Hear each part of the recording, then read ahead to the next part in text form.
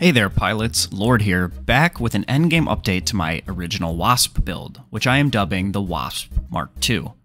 If you're in the mid game, I do have a chapter 2 to 3 version of this, so be sure to check that out down in the description below.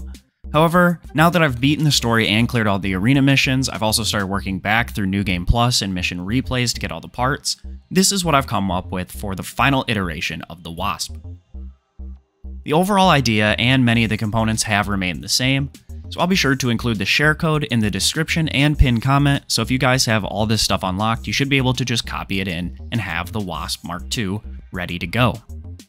Starting off with the weapon, to shed a bit of weight, I've swapped out the Gatling gun for the Chang Chen LMG. The reload time really isn't that bad, it's about similar to what you would wait for for the overheat on the Gatling gun anyway, and it deals more damage while still having a ton of ammo to burn through, allowing you to be really obnoxious. The left-hand weapon is the Gou Chen grenade launcher. Even though it has 12 less shots and 200 less impact damage than the Javelin Alpha, I think it more than makes up for it with plus 400 to damage and 2000 less weight. With that being said, same as with the mid-game Wasp, you can really swap this out for any nade launcher or bazooka that you prefer. For the shoulder-mounted weapons, I'm rocking the VVC 706 PM, as they have six homing proximity-based energy missiles that explode into an area of effect, making them even harder to dodge than the 703s from the Wasp Mark I. These also do have multi-lock abilities for clearing trash mobs in overworld missions. If you need verticality, again, you can switch to the vertical versions of these, they work just as well, but I've found that just by having good positioning, these work in 99% of the situations that I've run into. For the head, we've got the HD033M Verrill, and the core is the Mind Alpha core. These are both just solid all around options that fit the bill for our EN and weight loads while being pretty good for AP as well as other stats. However, you can feel free to swap these out if you've got certain things that you like with other heads or cores. The arms are the VP45D, as these have a lower load limit than our old arms, but way less so we move even faster. The legs are still the spring chicken legs, which, in my opinion, are the best utility reverse joint legs, as they allow for the highest carry weight while still maintaining the mobility that we need. The booster is the Alula 21E for that super rapid quick boost, allowing for great gap closing ability as well as the ability to create separation from more aggressive builds. The FCS is going to be the PO5 for maximum mid-range assistance. Again, you can swap this out depending on your mission or boss, like if you need closer range or longer range, this is a really easy one to change out. Finally, the generator is the VP20C, if you decide to switch to energy weapons in your hands, you may need a higher output generator, so be sure to keep an eye on that. However, with the current build, this keeps me light and mobile, but still has enough EN output and regeneration to fit my needs.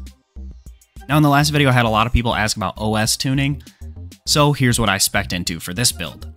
Spec 1 into boost kick, 2 into pulse armor, 4 to kinetic, explosive, and energy weapon damage for a bonus 12% damage to each of those types, then 2 into direct hit, 1 to access speed, 4 to damage mitigation for 12% reduced damage taken, and 3 into repair kit optimization.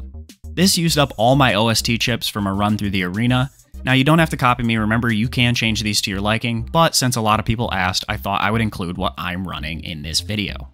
The basic combat idea of the Wasp Mark II is to wear down on your opponent with the LMG, just slowly chipping away, while using the shoulder launchers to really hound them. The shoulder launchers again chase and explode when they're in proximity and explode into an area of effect, so it's really easy to get hits with these. If your enemy wastes their energy dodging the LMG and launchers, you can just hit them with the bazooka or with a boost kick. My go-to strategy is using the shoulder launchers and LMG until they're at about two-thirds ACS buildup, then I try to close the gap to do a boost kick in order to stagger them. You can hit them with the bazooka to stagger, then go in for the kick if you're too far away to kick first.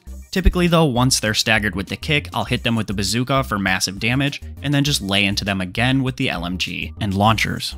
Looping this sequence got me through the entire game with relative ease, and I beat every arena mission in 80 seconds or less using this build and this strategy.